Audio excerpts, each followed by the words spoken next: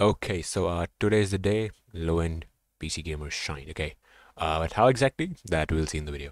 So make sure to subscribe before this video starts because only not even two, I mean less than two percent of you are subscribed. So yeah, do subscribe to the channel, and let's start the video.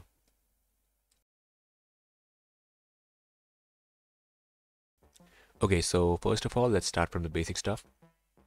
Just go to your system and go to properties here you will see uh, tools. The tools just click optimize under optimize and defragment drives. Here you will see two options and they will be the disks that you have connected to your PC right now. Just hit optimize whichever disk you want. And you can wait for it to complete but it can take quite a bit. So yeah you can just because sometimes if you haven't done it even once it can take quite a bit like pass one pass two pass three to complete. So yeah you can just do it a bit. What else you can do is just click change settings and set it to weekly. Now hit windows r and type percent temp percent. So these are all the temporary files and folders that are on your pc which are eating up space and making your PC slow. So just go ahead and delete this permanently by pressing shift delete and skip the ones that cannot be deleted. Now go to the search bar again by typing Windows and by hitting Windows R and type prefetch. Hit continue and control A, shift delete, enter. Now we have cleared the all the cache data and the clutter from the PC so you will get some free space in your PC and your PC will run a bit better. Now right click go to display settings and scroll down. Go to graphics and here just click browse and select the games that you play like uh let's hit Resident Evil 2 select the game and click options and select high performance. Click ok. So you can do this with every game you play like valorant options high performance save. Genshin options high performance save like that. Now uh just go to this pc right click go to properties and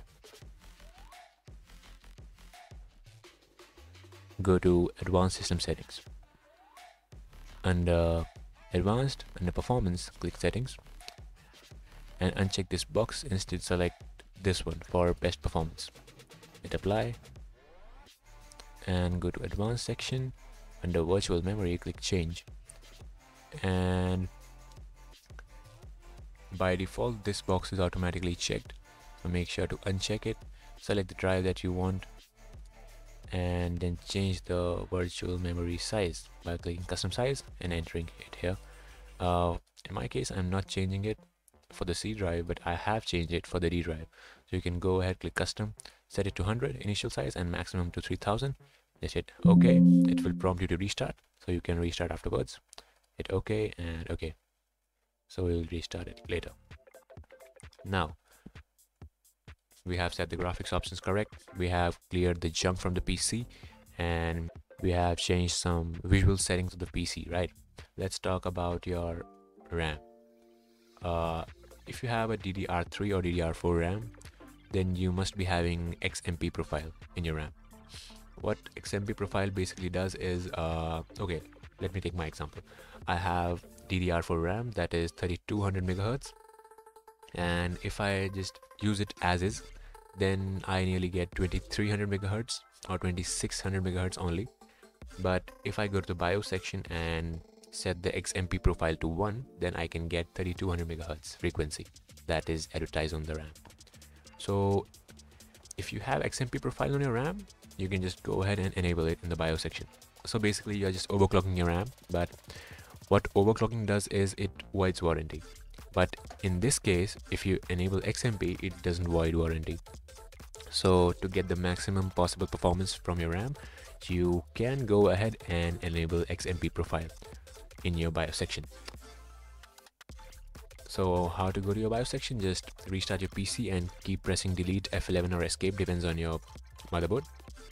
Once you are in the BIOS section you can just go ahead to the RAM section and select XMP profile 1 there are two profiles mostly 1 and 2 so 1 is the safer option. So go ahead and select the XMP profile 1 as in my case I have selected XMP profile 1 now what you can do is just go ahead and we'll drop down this link in the description. So you can just go ahead and download the driver that you like.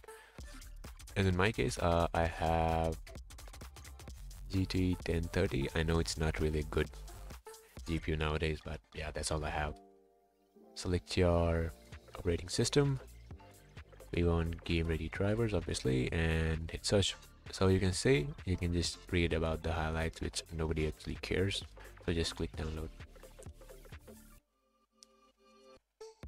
Either you can download the graphic drivers from here or you can just go ahead to your nvidia settings or nvidia uh, control panel or geforce experience and update your drivers from there.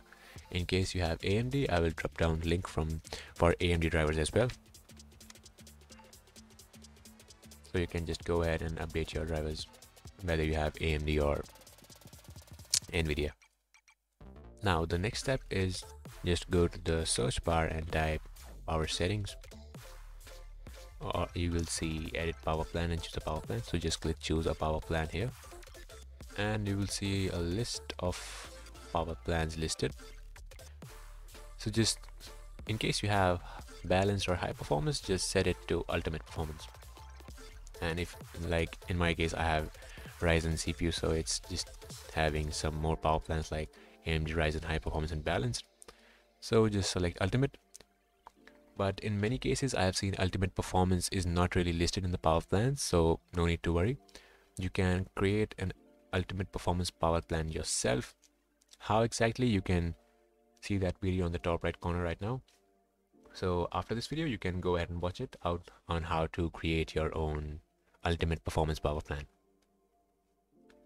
So just select the ultimate performance and you are good to go. Now one more thing is just if you're in a game just click properties and under compatibility select run this program as administrator so yeah it does help a lot.